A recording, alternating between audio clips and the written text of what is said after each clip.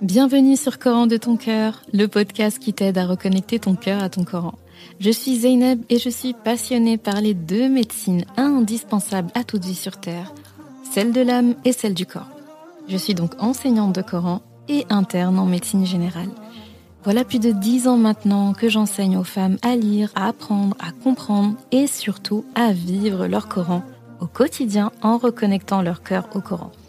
Car oui, j'ai la ferme conviction qu'un cœur connecté au Coran est capable de redistribuer à tous les organes du corps l'amour pour Allah, l'envie de lui plaire et d'agir dans le bien. C'est pourquoi à travers ce podcast, je compte redonner chaque semaine un nouveau souffle à divers pans de ta vie au regard de ton Coran. Prends ce temps pour toi et belle écoute. Assalamu alaikum wa rahmatullah. J'espère que tu te portes bien ainsi que tes proches. Alhamdulillah pour ma part. Alors je reviens aujourd'hui avec un, épisode sur un sujet que je voulais évoquer depuis longtemps. Euh, cet épisode ne sera pas très long parce que voilà, au moment où je l'enregistre, je suis euh, en déplacement. Je voulais évoquer cette notion. Je referai sûrement un épisode encore pour approfondir ce sujet-là parce qu'il est intéressant. Et ce sujet, c'est un sujet fascinant qui est évoqué dans le Coran. Et bah, je vais te laisser avec la ayah qui a motivé l'épisode du jour et après tu verras. بسم الله الرحمن الرحيم. ومن آياته خلق السماوات والأرض واختلاف ألسنتكم وألوانكم. إن في ذلك لآيات للعالمين. Et parmi ces ayahs, la création des cieux et de la terre, et la diversité de vos langues et de vos couleurs. Voilà là bien des preuves pour les savants, pour ceux qui savent. Tiré de Surat Ar-Rum, Aya 22.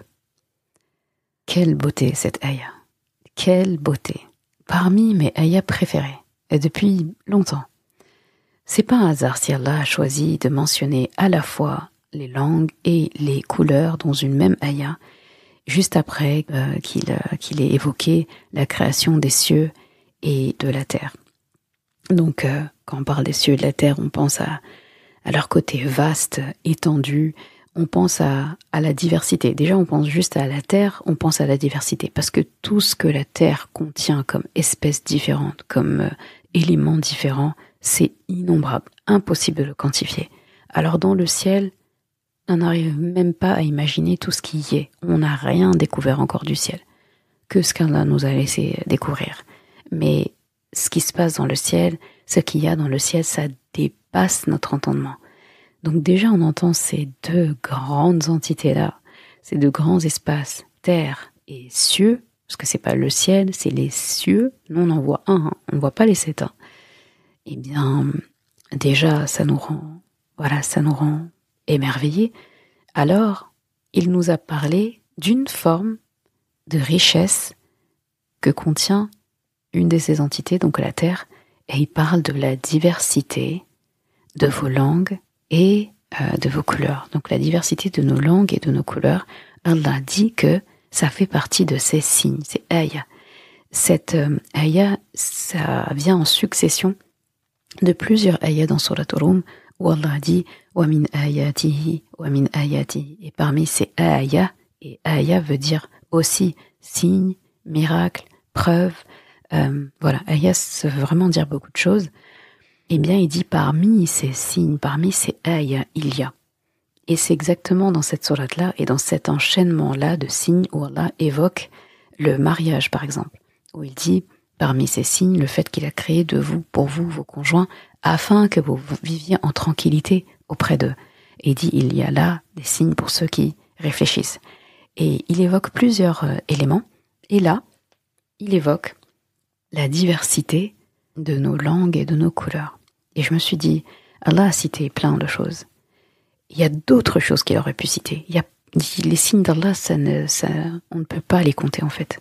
Il aurait pu citer plein de choses. Il aurait pu parler du corps humain, le fait qu'on mange, qu'on dorme, etc. Il aurait pu citer nos capacités intellectuelles. Il aurait pu citer, euh, voilà, des, des, éléments aussi qui vivent sur la terre, qui nous impressionnent. Enfin, la création d'Allah déjà est impressionnante à elle toute seule. Et en fait, il a mentionné ces éléments-là. Donc, je t'invite vraiment à lire dans Surah Turumba, la ayah 22, tu regardes les ayahs d'avant et les ayahs d'après. Là, c'est à peu près au milieu, la ayah 22. C'est à peu près au milieu de tous ces signes-là. Et tu verras, c'est un pur délice à, à lire. Et, et le fait qu'il ait parlé de cela, ça veut dire, donc rappelle-toi, je le dis tout le temps, très souvent en tout cas, que dans le Coran, rien n'est trop, rien n'est pas assez si Allah a choisi d'évoquer cette chose-là et pas une autre chose dans le Coran, c'est que cette chose est importante et surtout cette chose, on ne peut pas l'ignorer. D'accord? On ne peut pas occulter. Si c'est présent déjà par définition, c'est que ça ne peut pas être ignoré. Donc il ne faut pas le faire. Donc s'il dit parmi ces signes, là vraiment, je t'invite à prendre ces ayats-là et te poser et regarder à chaque fois de quel signe il parle. Et tu les enchaînes, tu vas voir que même l'ordre dans lequel il les mentionne a un ordre tout à fait harmonieux qu'il va dans un sens croissant d'une certaine façon, qu'il va un sujet dans l'autre, que tous ont un lien aussi. Et c'est très beau à voir. Peut-être que je prendrai aussi le temps de d'évoquer juste cet enchaînement, d'expliquer cet enchaînement dans une dans un épisode. Et, et voilà. Donc la diversité des langues et euh, des couleurs. Et si tu regardes, c'est pour ça que j'ai dit que cette aya est une pure beauté, parce que pas un hasard qu'Allah mentionne les langues et les couleurs. Et ce que j'ai remarqué, c'est que il parle de deux aspects qui sont à la fois euh, donc tantôt visibles, tantôt audibles. Et ça fait partie de notre quotidien et notre identité. Et tu sais qu'Allah parle très souvent dans le Coran de l'ouïe et la vue. L'ouïe et la vue. Quand il parle de la diversité de nos langues, il est en train de nous dire écoutez en fait. Là, il est en train d'appeler à notre capacité d'écoute. Et quand il parle de la diversité de nos couleurs, eh bien là, c'est notre vue auquel euh, il fait appel. Donc, euh, il dit souvent, ils ont des yeux et ils ne voient pas. Ils ont des oreilles, mais ils n'écoutent pas avec. Ou bien il dit qu'il est As-Samir al-Basir, il est celui qui est le très audible, qui entend tout, et il est celui qui voit tout. Très souvent, il va nous évoquer, il va parler de nous par ces deux sens-là. C'est les deux sens qui sont le plus mentionnés de toute façon dans le Coran parmi les cinq sens. L'ouïe, la vue. Donc euh, vraiment l'ouïe et la vue priment sur l'odorat, priment sur euh, le toucher et le goût. Donc euh, ça prime au-dessus de tout. Les deux sens super évoqués par là et préférés et finalement qui ont plus de responsabilité que les autres, c'est l'ouïe et la vue. Et tout passe par l'ouïe et la vue. Avant de pouvoir goûter quelque chose, eh bien on le regarde, D'accord? Avant de, de réfléchir, avant de, euh, voilà, de toucher aussi, on regarde ou on écoute. Ça passe toujours par ces deux-là. J'écoute d'abord et après je me mets à penser. J'écoute et j'ai envie de parler. D'accord? Je réagis à quelque chose que j'ai écouté. Pareil pour la vue. Je vois quelque chose et je me mets à penser. Je vois quelque chose et je me mets à parler de cette chose que j'ai vue. Je répète, ou j'analyse, ou je conseille. D'accord? Ou je constate tout simplement. Euh, tout ça passe par la vue et par l'ouïe. Et là, même parmi ces signes, pour nous, le, simple fait qu'il évoque ça, c'est un miracle.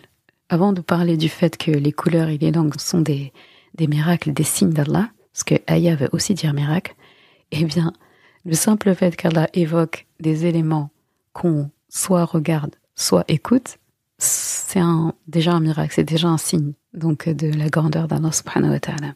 C'est une richesse. La diversité des langues, la diversité des couleurs. C'est pas moi qui le dis, c'est Allah. Et il dit que c'est un grand signe de sa sagesse, de sa hikmah divine. Parlons des langues.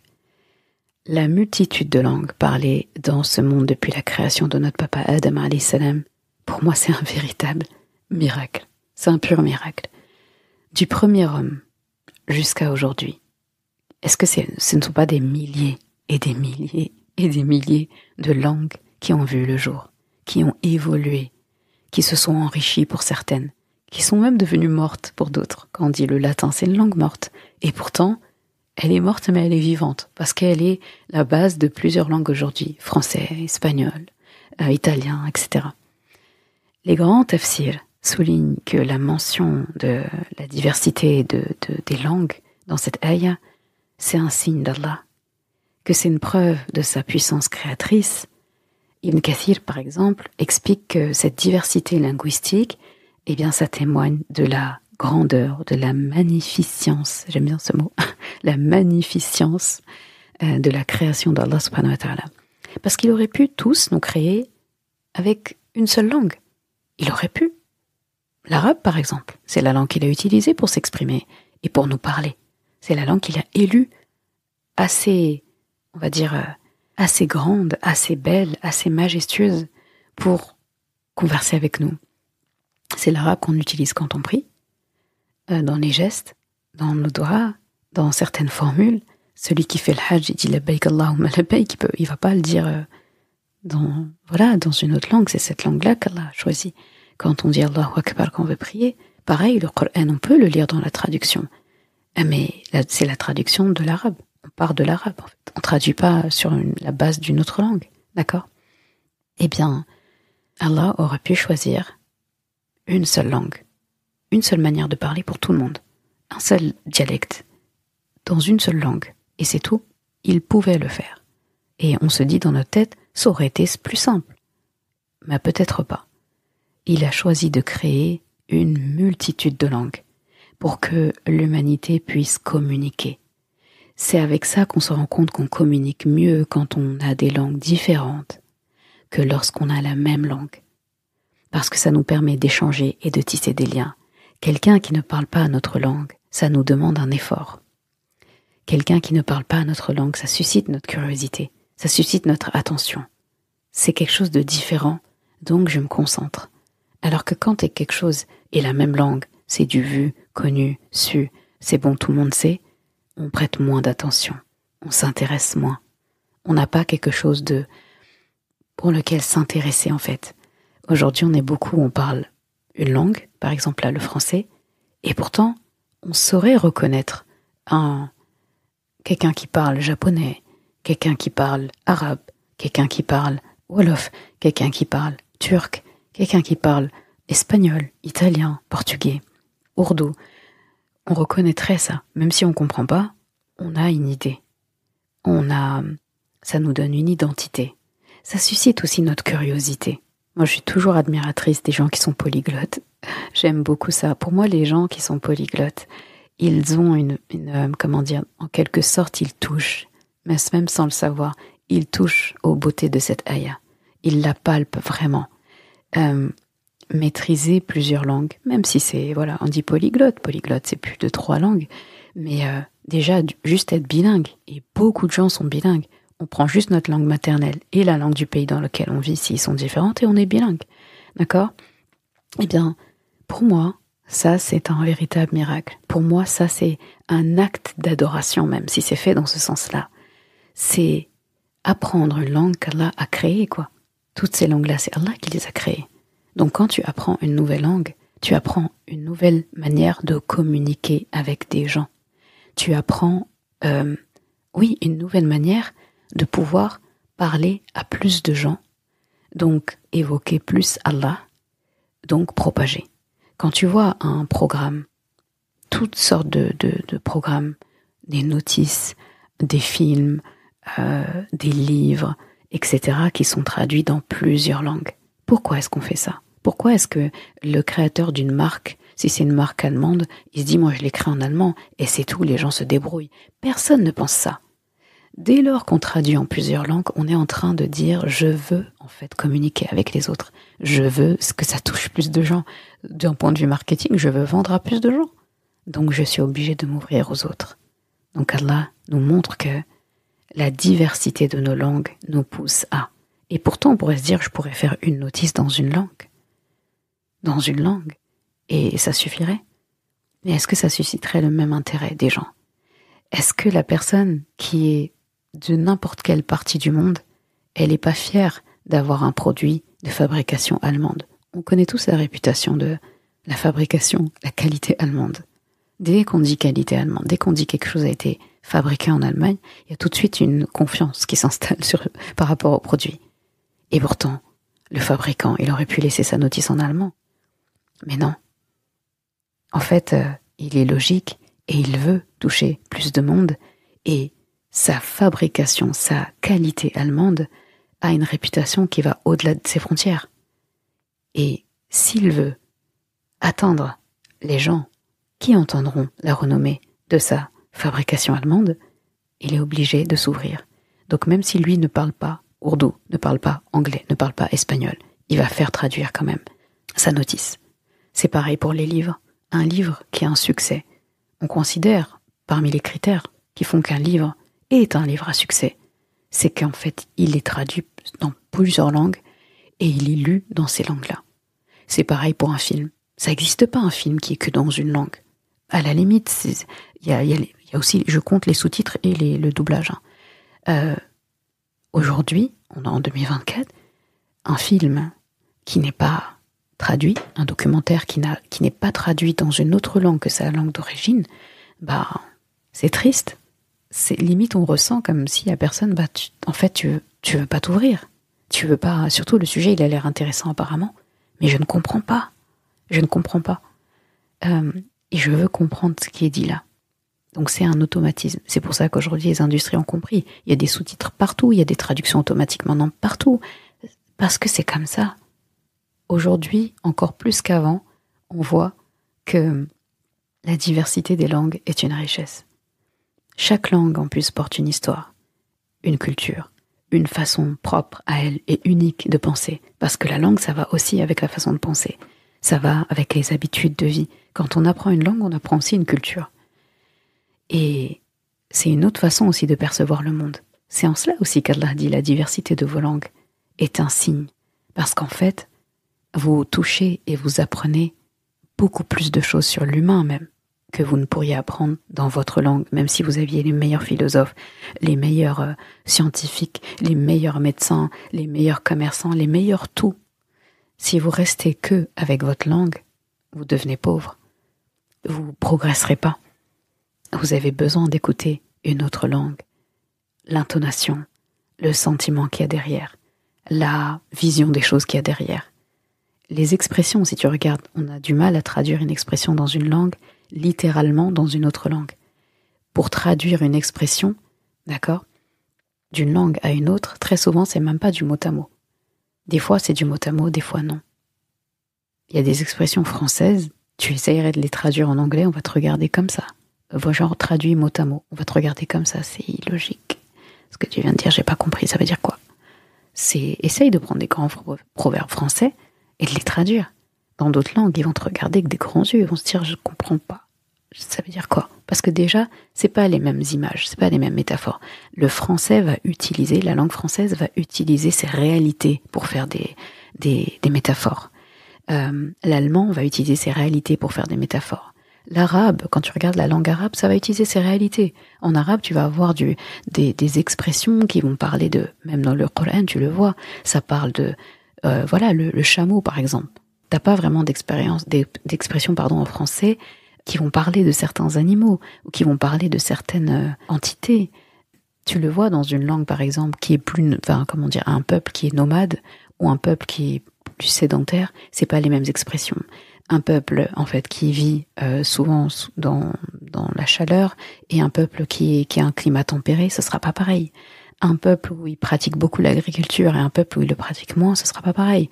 Un peuple qui est très riche, on va dire, qui a des terres riches financièrement, etc. et tout, et un autre peuple, ce ne sera pas pareil. Et donc, en naviguant d'une langue à l'autre, on s'enrichit. Parce que j'ai mon élément et je rajoute ton élément. Et là, je me complète. Et donc que ce soit voilà l'arabe, l'anglais, le wolof, l'espagnol, le ourdou par exemple, chaque langue est un trésor en soi parce qu'il renferme un gros bagage avec. On va parler maintenant des teintes d'argile. Moi, c'est comme ça que je parle des couleurs. Quand tu entends teinte d'argile, tu penseras à moi. J'aime beaucoup dire que nous ne sommes que des teintes d'argile, Nous sommes des teintes d'argile, voilà, de, des teintes différentes. D'accord? Autant de teintes qui n'existent donc euh, de personnes. De la même manière, Allah subhanahu wa ta'ala nous rappelle dans cette ayah la diversité de nos couleurs, nos teintes d'argile. Les tafsirs nous disent que ça fait référence aux différentes carnations, bien sûr, donc la carnation, la peau. Et les teintes d'argile, comme j'aime les appeler, et donc euh, chacun, chacune de nos, de nos peaux, qu'elles soient claires, brunes, foncées ou entre les deux, bah, c'est un témoignage de la grandeur, de la magnificence, j'aime bien ce mot, de la création d'Allah subhanahu wa ta'ala. Cette diversité de nos teintes, euh, bien ça nous montre à quel point Allah aime la beauté sous toutes ses formes. Vraiment. Allah est beau. Il aime la beauté et il ne crée que du beau. Et quand tu regardes bien, dans chaque teinte que tu vas voir, tu vois une certaine beauté. Et il y a des personnes des fois que tu vas regarder, tabarakallah, tellement belles, qu'en fait, là tout de suite, même si c'est pas la couleur euh, standard, voilà les standards de beauté, là ça dépend où est-ce qu'on se trouve, ou même si ce n'est pas la couleur de ta culture, et tu trouves une personne belle, elle est d'une autre, une autre teinte, une autre culture, là tout de suite, si on te disait euh, que qu'on donnerait ta couleur de peau par exemple à cette personne, dans ta tête tu sais que ça gâcherait tout, tu sais qu'elle perdrait de cette grande beauté qu'elle a tu sais qu'en fait, elle est belle et que le teint qu'elle a, c'est le teint parfait pour elle. Je suis sûre que ça t'est arrivé plusieurs fois de penser ça. Moi aussi, ça m'est arrivé.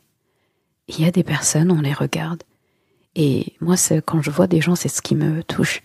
Je me dis, mais la palette de couleurs qu'Allah a fait, mais les bons dosages, les bons tons. Il n'y a qu'à regarder quand, voilà, une femme qui veut acheter un fond de teint, donc un maquillage. Donc, si on posait toutes les teintes qui sont connues dans l'être humain, et peut-être même qu'il y a des teintes qu'on n'a jamais vues et que voilà. Mais regarde cette diversité, c'est précis, t'as le numéro 1, 2, 3, jusqu'à je ne sais quelle couleur. Et puis en plus, le miracle. Regarde le miracle. C'est comme dans les langues. Il y a une langue.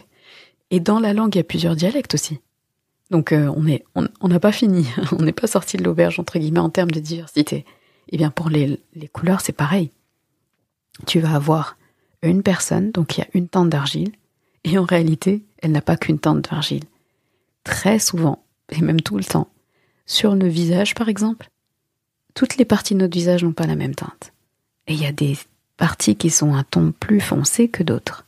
Et même quand les gens se maquillent, par exemple, je reprends ça parce que ça, ça c'est parlant, eh bien, c'est, on voit bien la différence entre un beau maquillage et un moins beau maquillage. Je suis pas du tout experte en maquillage, voilà, je, connais les basiques, on va dire.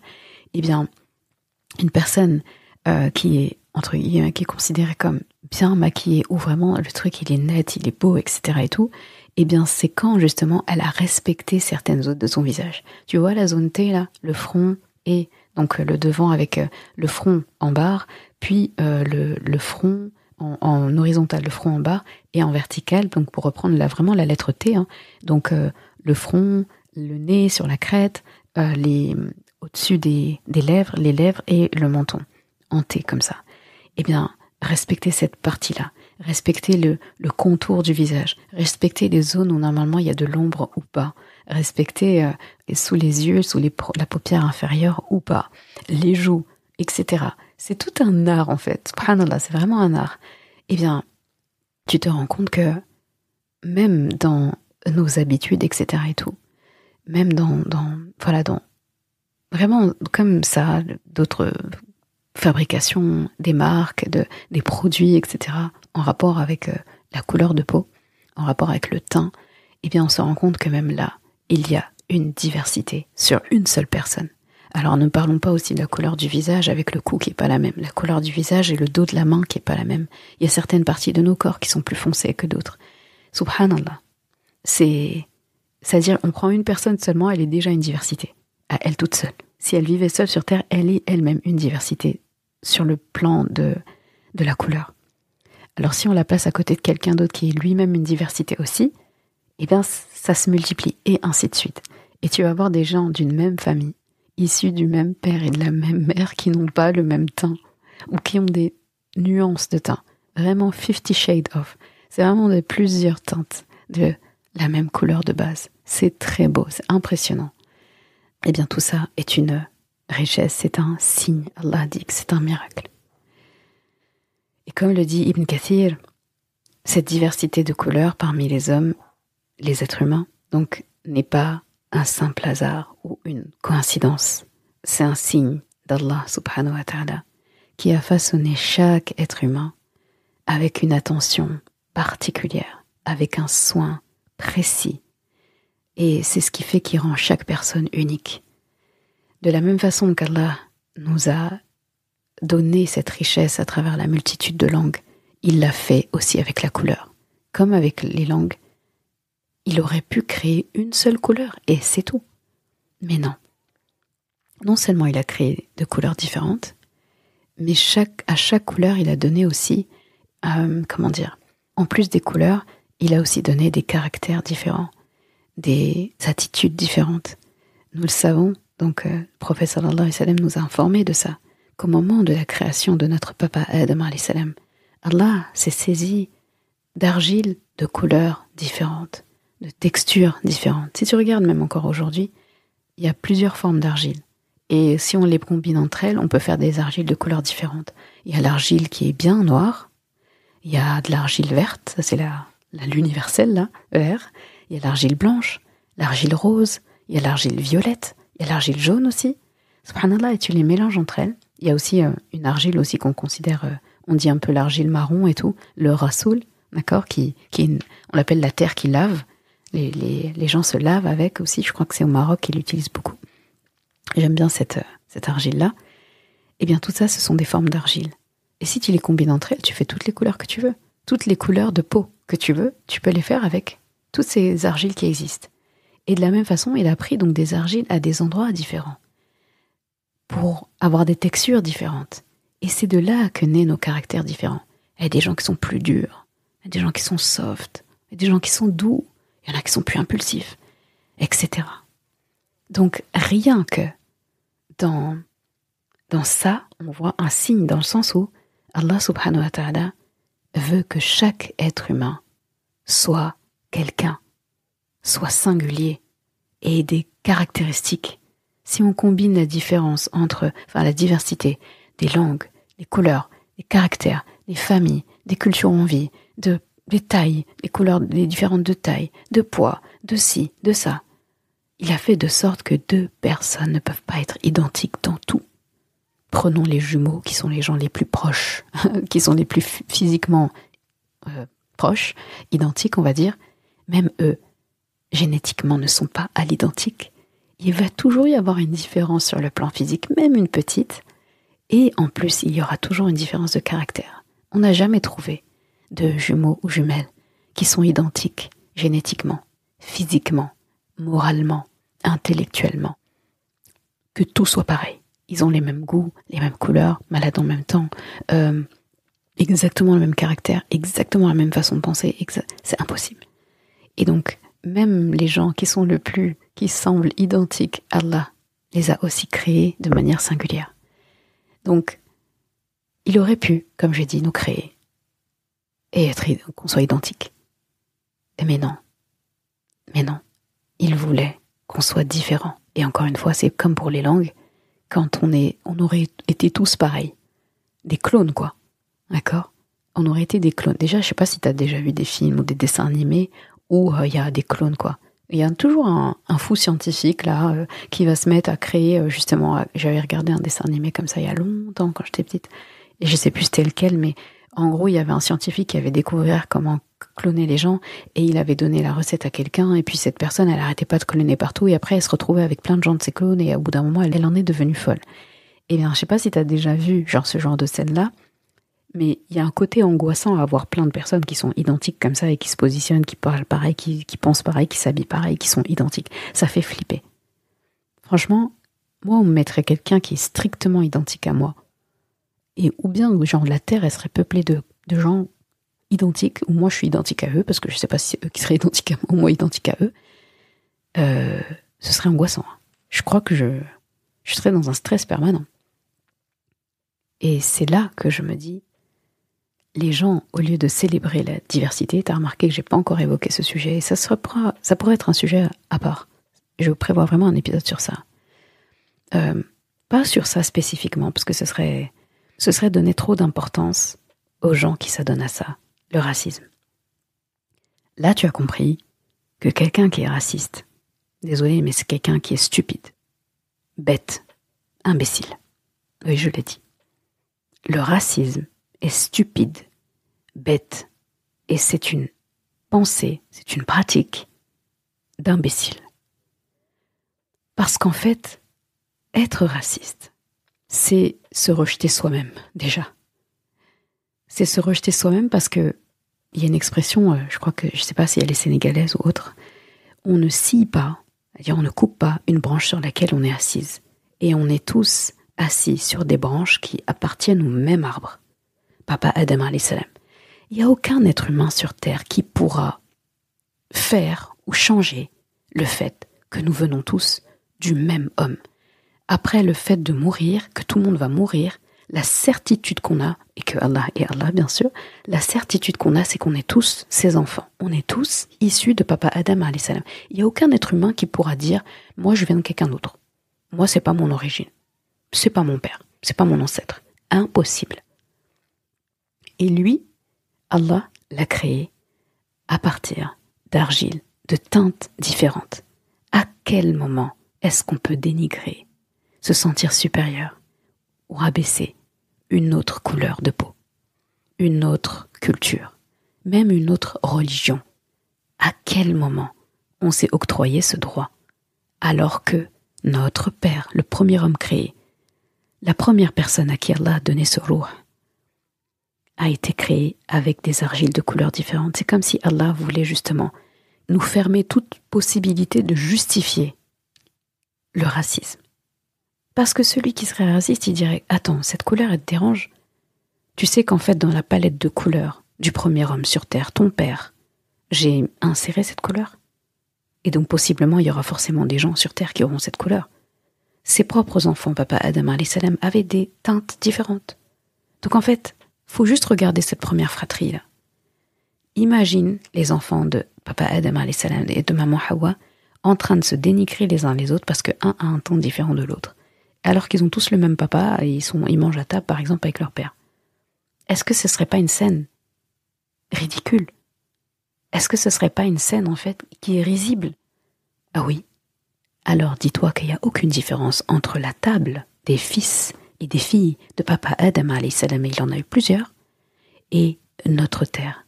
Faut considérer qu'on est tous à table ici.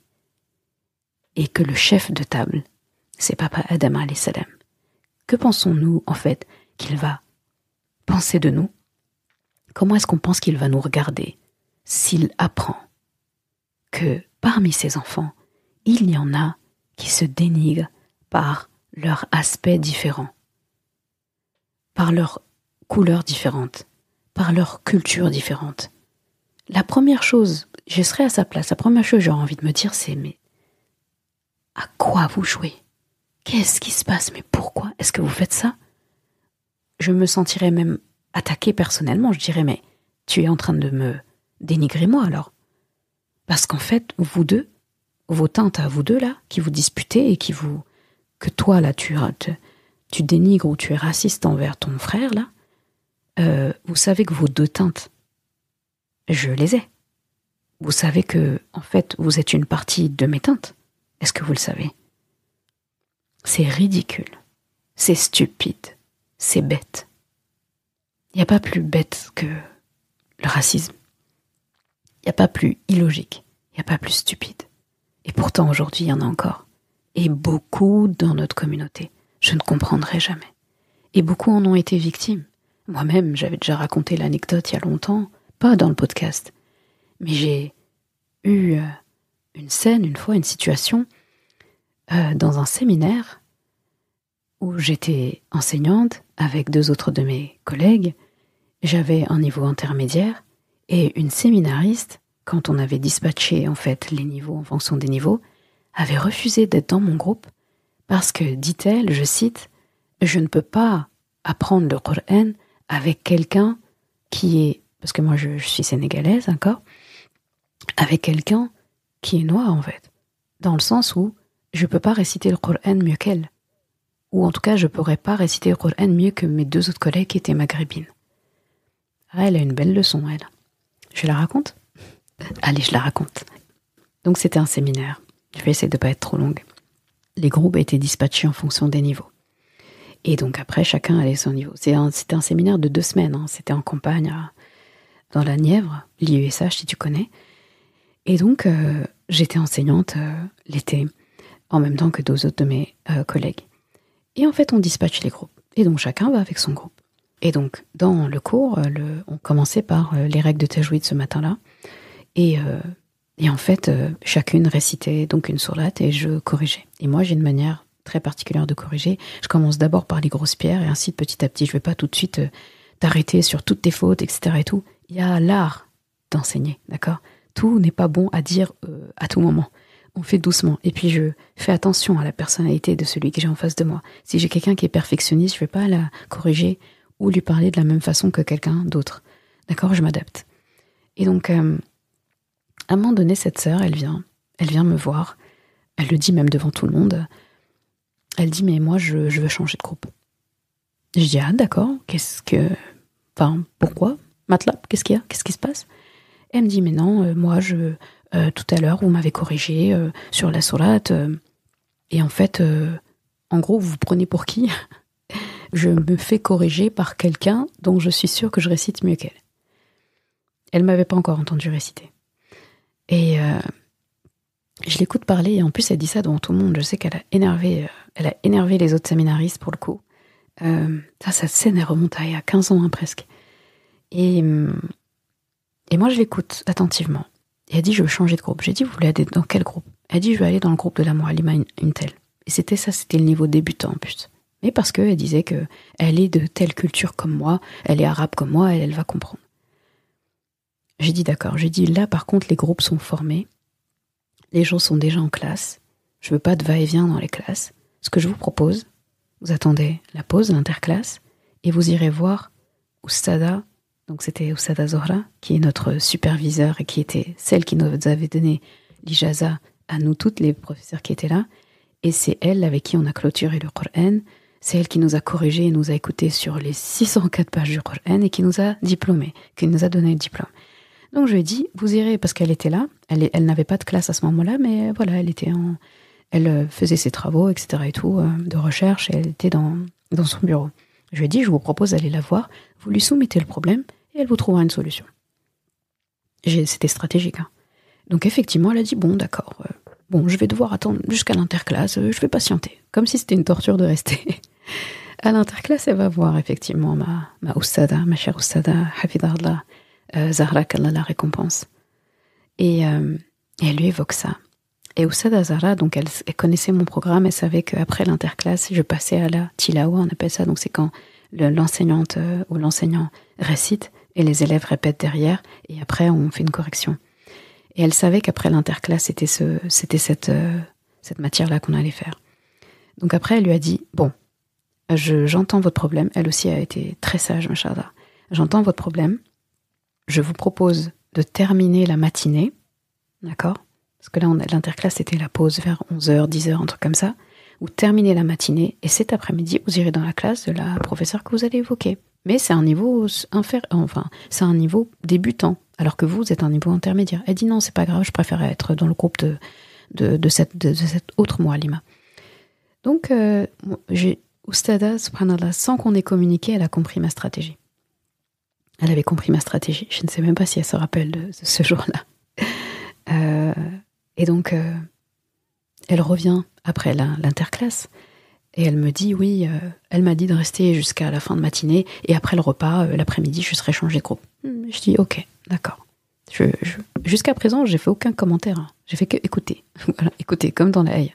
On écoute les langues, on écoute la personne parler, juste. Et après, on verra.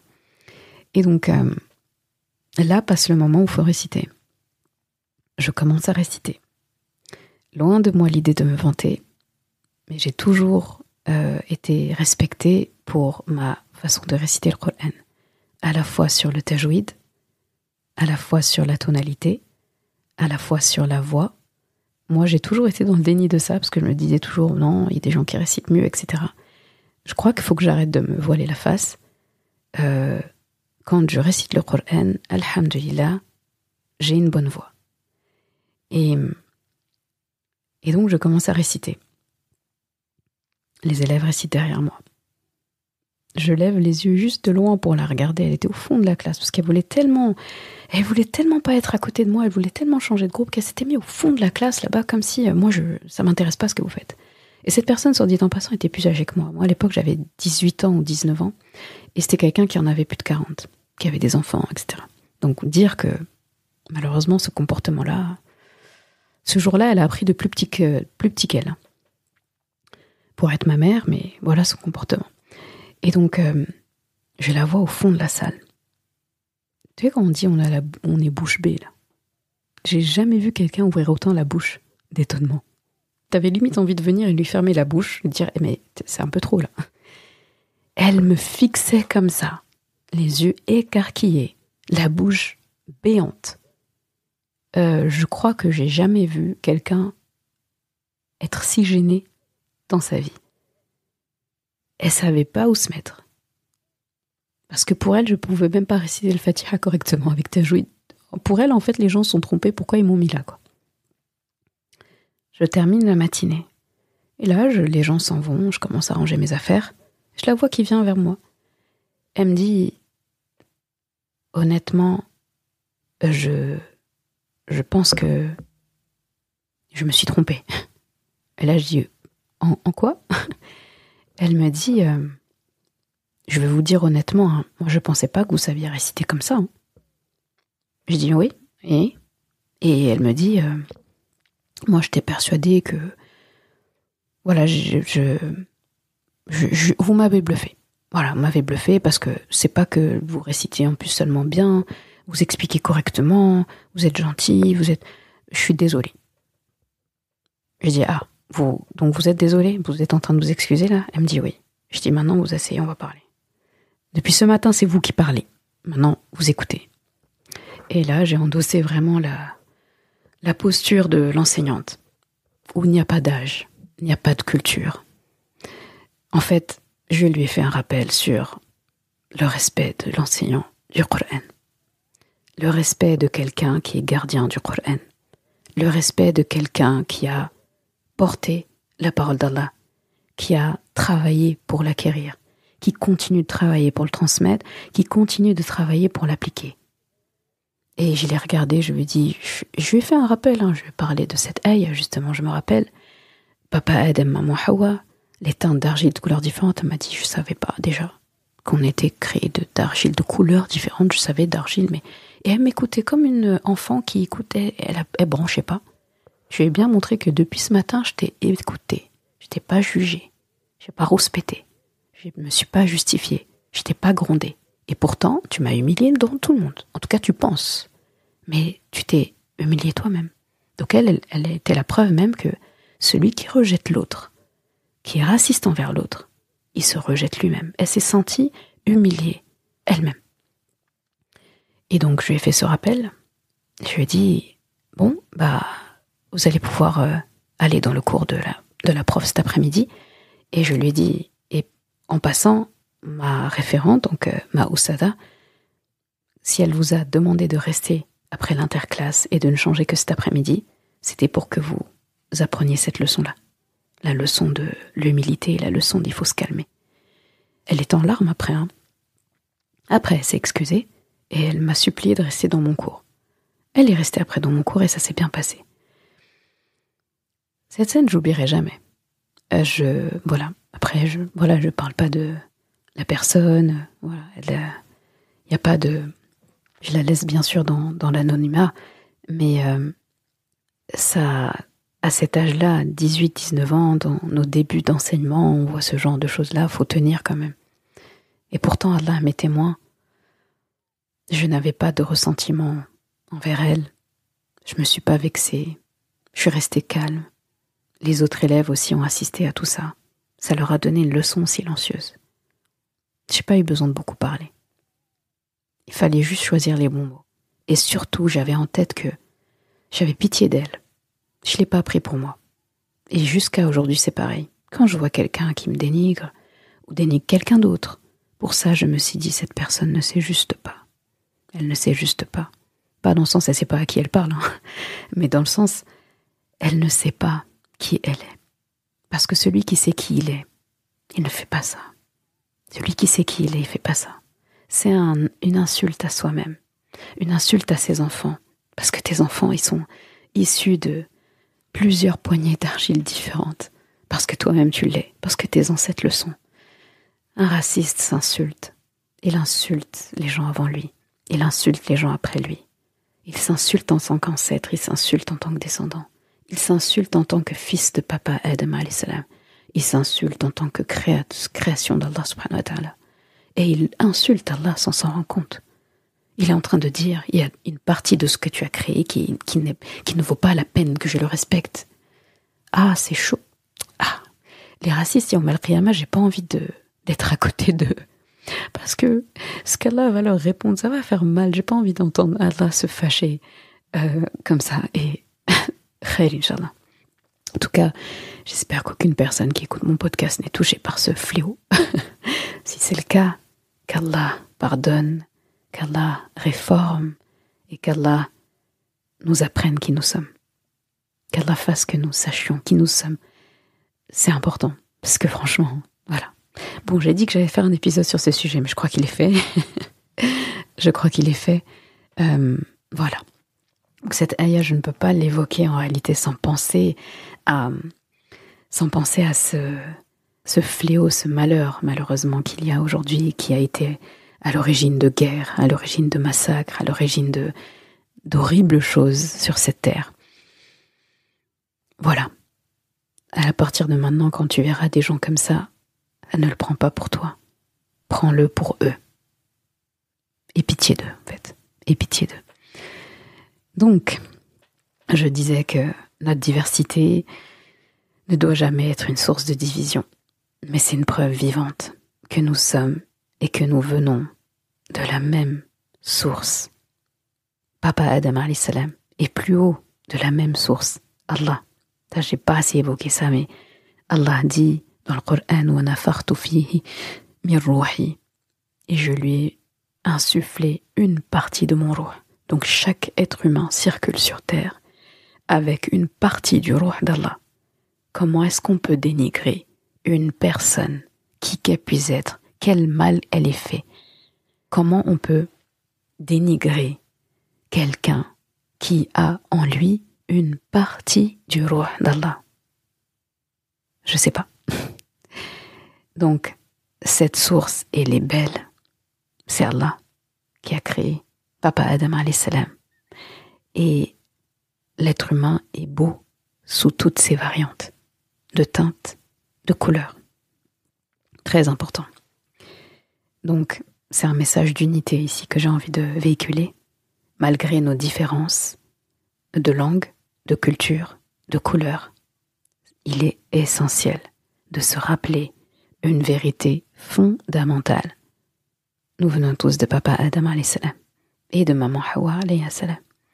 Nous sommes tous frères et sœurs d'une immense famille humaine qu'Allah a créée.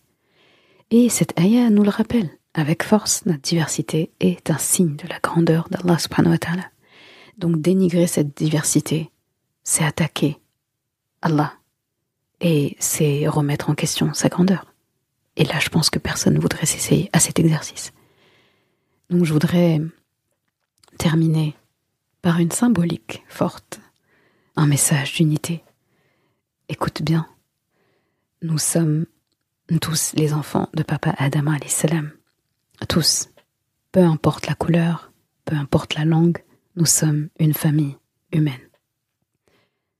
Je suis la fille de papa, de notre papa, Adam salam, et toi aussi. I am a child of father, our father, Adam salam.